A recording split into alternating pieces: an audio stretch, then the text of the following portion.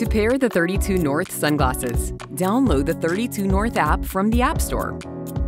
Once the app is downloaded, allow the Bluetooth connection. On the app activation screen, enter your email and activation key. The email should be the one used to purchase the 32 North sunglasses, and the activation key is a 16 digit code that was sent via email and was also included in the glasses package.